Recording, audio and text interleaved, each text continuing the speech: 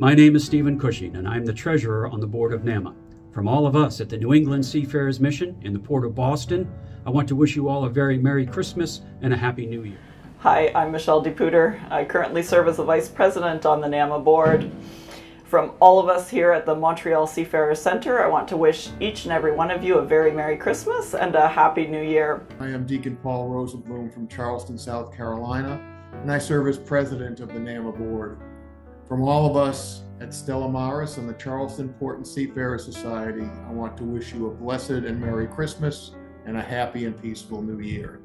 I'm Dana Bloom, and I'm the Secretary of the NAMMA Board and the Executive Director for the Houston International Seafarers Center. And all the way from Houston, I want to wish each and every one of you Merry Christmas and a Happy New Year. I have been attending the NAMMA conference for 10 years now, and it is always a highlight of the year for me.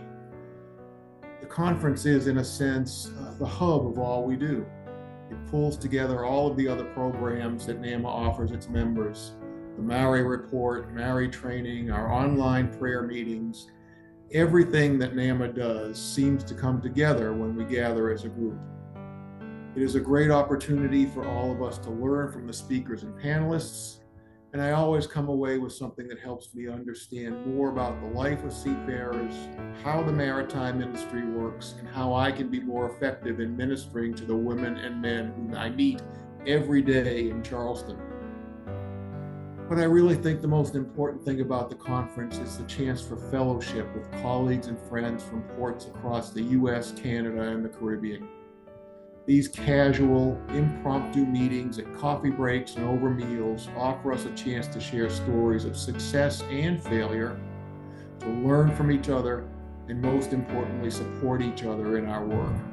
That is truly an invaluable asset that we all have at the conference. I also wanted to remind you all how important the Houston School that NAMMA puts on is for all new chaplains. So if you have anyone who's a new chaplain or a ship visitor and would like to learn the ins and outs of doing that and how important it is to network and grow your network of chaplains and ship visitors around the world like no other place can do, then join us for the Houston School in February. You know, for the past several years, NAMMA has been a very prominent presence at the Connecticut Maritime Association conference held in Stamford, Connecticut. With our presence there and with Jason bringing forth the, the strong issues before the industry partners and government officials, we are able to present a united front we are able to put forward the needs of seafarers, whether they be medical or social or life on board the ship. By acting collectively through our voice at NAMMA, we are able to let industry and government know that the seafarer has a voice that he can count on. NAMMA has had a long-standing partnership with ICMA, and it's been very useful, I think, because it allows us to work with organizations from around the world and better understand the challenges that our colleagues in other parts of the world face. By seeing how they function, it gives us here in North America a better perspective on effective maritime ministry. This partnership also helps us to better appreciate the importance of ecumenical relationships in seafarers ministry. Our organization, NAMMA itself, fosters an ecumenical approach, but seeing this on a broader worldwide scale helps us in our efforts to promote ecumenism in our own organization. One of the things that's happened with NAMMA members over the past uh, couple of years has been involvement on the Canadian National Seafarers Welfare Board.